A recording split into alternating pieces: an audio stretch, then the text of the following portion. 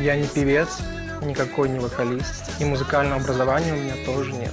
Четыре года назад меня пригласили работать с бендом. Я работал с большой командой музыкантов, исполняя клубную музыку. Через некоторое время у нас забрали паспорта, нас заставляли работать бесплатно, нам угрожали, нас запугивали.